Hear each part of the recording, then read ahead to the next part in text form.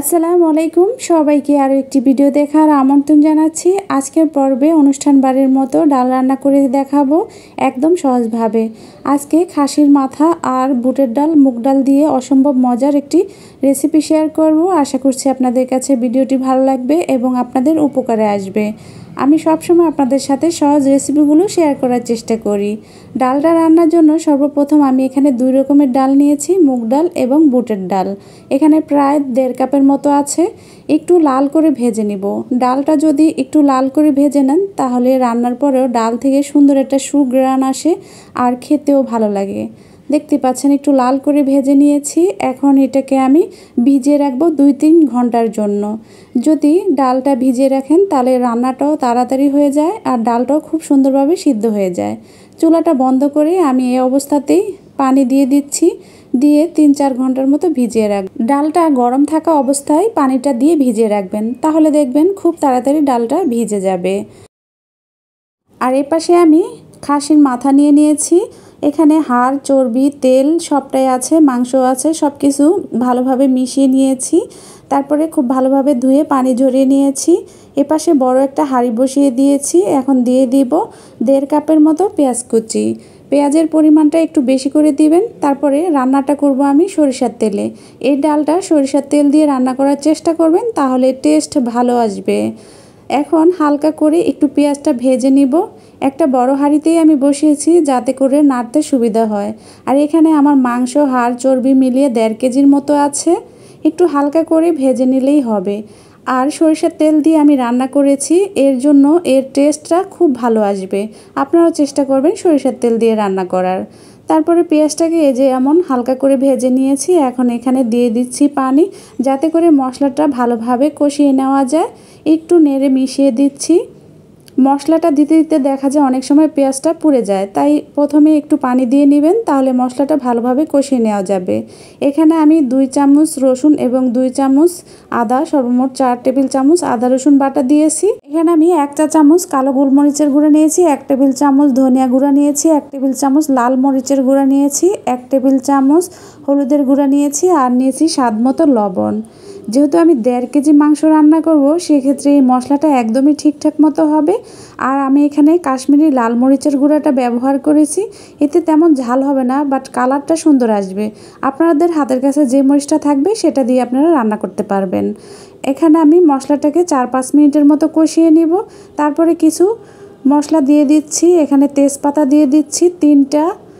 পাঁচ ছয়টা দিয়ে দিচ্ছি সাদা এলাচ, একটা জয়ত্রী এবং পাঁচ ছয়টা দারচিনি। একটা জয়ত্রী নিই একটা অর্ধেকের মতো দিয়েছি। এই মশলার সাথে ভালোভাবে আবারও কষিয়ে নেব। এখানে চাইলে আপনারা এই মশলাগুলো গুঁড়ো করেও দিতে পারেন, তবে আমি আস্তই দিয়েছি।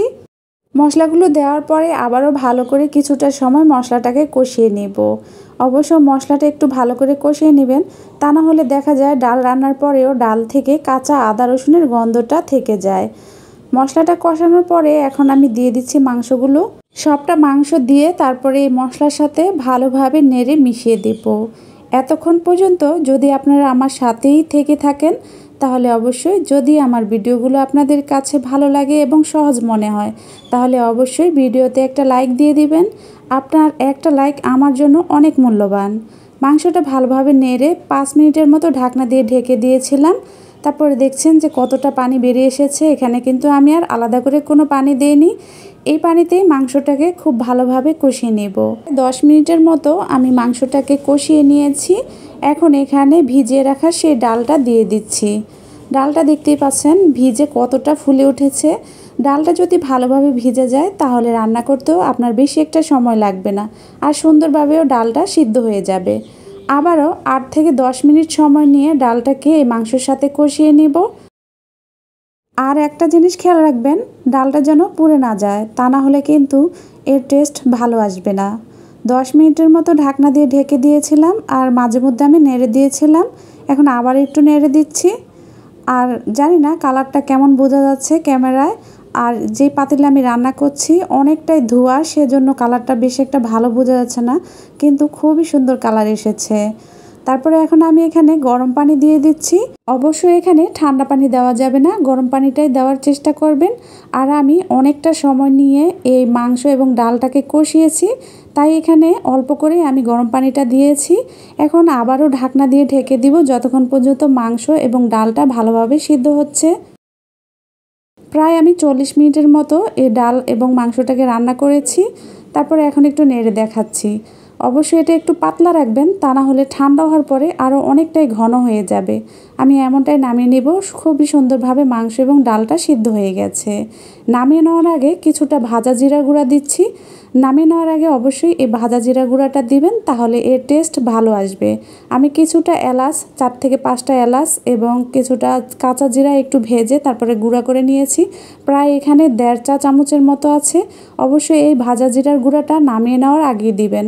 তাহলে দেখবেন এত সুন্দর সুঘ্রাণ আসবে, সারা ঘর একদম সুঘ্রাণে ভরে যাবে। এখন নাড়িয়ে তারপরে আমি দশ মিনিটের মতো আবারও এটাকে এভাবেই দমে বসিয়ে রাখব।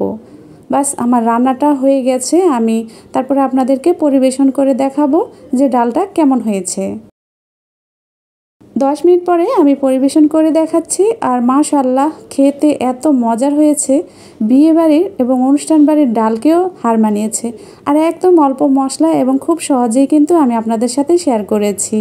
আশা করছি আপনাদের কাছে ভিডিওটি ভালো লেগেছে। যদি ভালো লেগে থাকে তাহলে অবশ্যই ভিডিওতে একটা লাইক দিবেন কমেন্ট করে জানাবেন কেমন হয়েছে। আর প্রথম যদি আমার ভিডিওটি দেখে থাকেন তাহলে অবশ্যই আমার চ্যানেলটি সাবস্ক্রাইব করে দিবেন। আজকের মতো বিদায় নিচ্ছি। সবাই ভালো থাকবেন, সুস্থ থাকবেন। আবারও চলে আসব নতুন কোনো ভিডিও নিয়ে। ততক্ষণের জন্য বিদায়। আল্লাহ হাফেজ।